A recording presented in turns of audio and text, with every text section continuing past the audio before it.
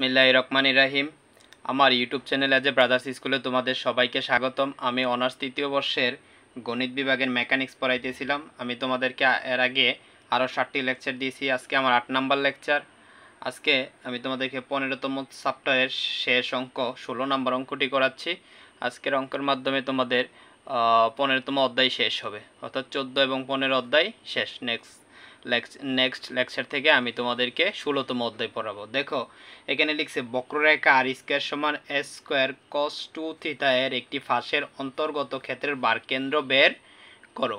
তো, এখানে দেখো এটা একটা ফাঁস। এই ফাঁসের একটি ফাঁসের অন্তর্গত ক্ষেত্রের বার কেন্দ্র নির্ণয় করতে বলছে। অর্থাৎ এখানে চিত্রটা দেখো এখানে দুইটা ফাঁস আছে। এটা এই চিত্র দিয়ে, এই এই এটা দিয়ে কিন্তু এই চিত্রটা বোঝো তো দুইটারই বার কেন্দ্র নির্ণয় করতে বলে নাই, যে কোনো একটার বার কেন্দ্র নির্ণয় করতে বলছে। তো দেওয়া আছে দেখো আমরা চিত্রটা লিখছি, আর দেখো থিতা সমান মাইনাস পাই বাই ফোর, আর এদিকে কিন্তু দেখো অর্ধেক গেছে এর জন্য আমরা লিখছি পাই বাই ফোর। তাহলে আমরা যে সীমাটা সীমাটা নিব মাইনাস পাই বাই ফোর থেকে প্লাস পাই বাই ফোর। দেখো, দেওয়া আছে আর স্কোয়ার সমান এ স্কোয়ার কস টু থিতা এটাকে এক নং ধরছি, তাহলে আর মান বের হয়েছে রুট স্কোয়ারটা এদিকে গেলে রুট হবে, তো এর উপর স্কোয়ার রুটে কাটা গিয়ে এ বাইরে আসছে আর কস টুইটার উপরে রুট গেছে। এটা আশা করি বুঝতে পারছ। তারপরে দেখো, যদি আর সমান জিরো হয়, আমরা বলছিলাম যে এই অঙ্কগুলোর ক্ষেত্রে আমি আর সমান জিরো ধরে নিই। তাহলে আর সমান জিরো হয়। তবে এই, এইটা সমান জিরো ধরে নিয়েছি। এটা সমান এক নং সমান জিরো ধরে নিয়ে দেখো স্কোয়ারটা ওইদিকে জিরো হয়ে যাবে, স্কোয়ারটাও জিরোর সাথে হয়ে বাদ গেছে। কস টু থিতার কস টু থিতা লিখছি। আর কজ শুধু জিরোর পরিবর্তে, জিরো ডিগ্রির পরিবর্তে লেখা যাক cos plus minus pi by two অর্থাৎ কস পাই বাই টু এর মানও zero minus pi by two এর মানও জিরো এর জন্য এটা লেখা হয়েছে। কজে কজে কাটা টু থিতা এই পাশে থাকছে প্লাস মাইনাস পাই তারপরে দেখো থিতা সমান প্লাস মাইনাস পাই। তাইলে রেখাটি এক নং রেখাটি এক অক্ষের প্রতিসম। খেয়াল করো, এটা কিন্তু এক অক্ষের প্রতিসম। এবং বলছে, সুতরাং বার কেন্দ্র আদি রেখার উপরে অবস্থিত এবং Y bar equal to zero এই যে দেখো এক্স বার কেন্দ্রটা এক অক্ষের উপরে অবস্থিত আর এক অক্ষের উপরে ওয়াইয়ের মান জিরো এটা একেবারে সিম্পল বিষয়, আর ওয়াই অক্ষের উপরে এক জিরো হয়। এজন্য এক অক্ষের উপরে পড়াতে ওয়াইয়ের মান জিরো হবে। অর্থাৎ এটার বার কেন্দ্রের মধ্যে ওয়াইয়ের মান জিরো হবে এবং আমরা শুধু এক্স বারের মানই বের করব। এবার দেখো, দড়ি উহার ফাঁসের বার কেন্দ্র এক্স বার ওয়াই বার আমরা জানি এক্স বার সমান ওই যে আগের যা পরে আসছি, তিনটা কার্ডিয়ট এবং ফাঁসের ক্ষেত্রেও এই সূত্রই। আমরা ব্যবহার করছি, দেখো। এক্স বার সমান two by three minus pi by four থেকে pi by four r cube কস্থিত অর্থাৎ এই সূত্রটাই কিন্তু এক্সের ক্ষেত্রে লাস্ট লাস্ট তিনটা লেকচারে আমরা এগুলোই পড়ে আসছি। Limit r cube cos theta D theta তারপরে লিমিট নিয়ে আর স্কোয়ার ডি থিতা আমরা কিন্তু এটাই করে আসছি।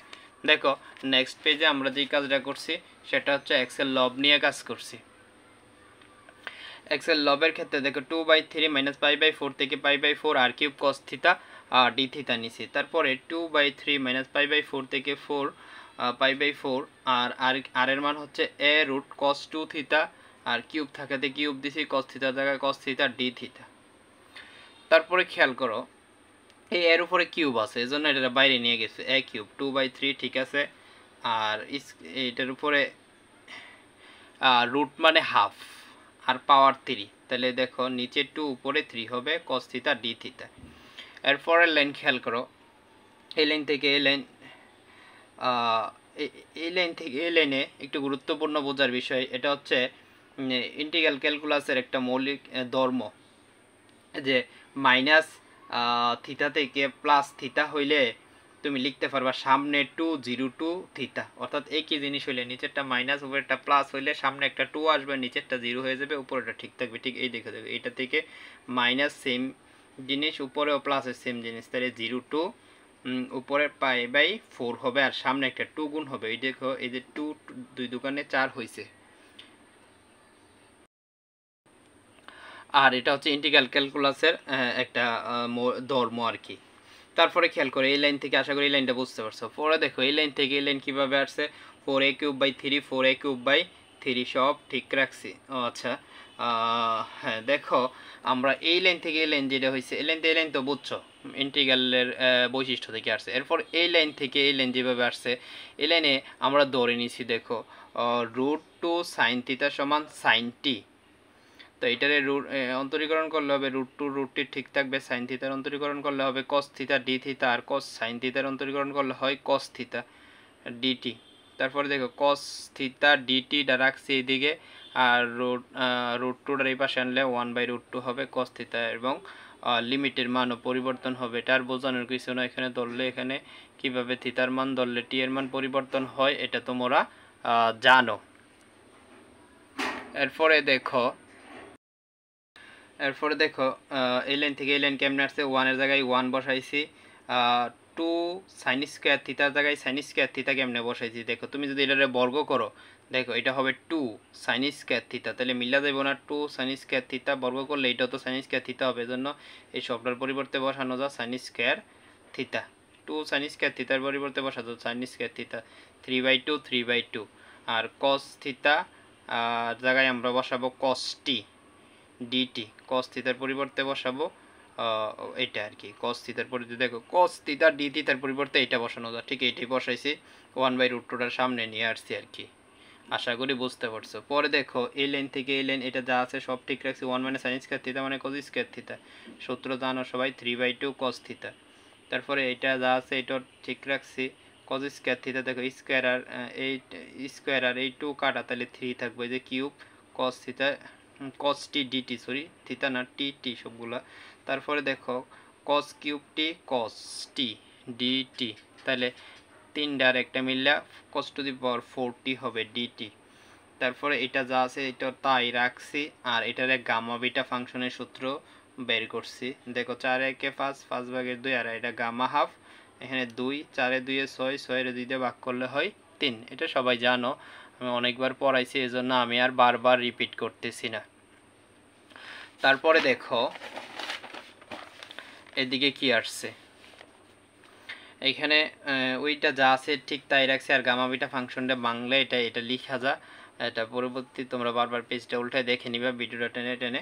তারপরে দেখো, এখানে কাটাকাটি করছে, এখানে দু, এইখানে চার, আর এই চার কাটাকাটি করছে তাইলে উপরে থাকতেছে এ কিউব আর এদিকে তিন আর এক তিন, ওকে তিন রুট পাই রুট পাই মিল্লা পাই থ্রি পাই আর নিচে হচ্ছে ফোর দেখো, এই দুই এই দুই মিললে হয়েছে ফোর আর root three three root two তারপরে দেখো, এই থ্রি থ্রি কাটা। তাহলে উপরে থাকতেছে a cube pi a cube pi four root two four root two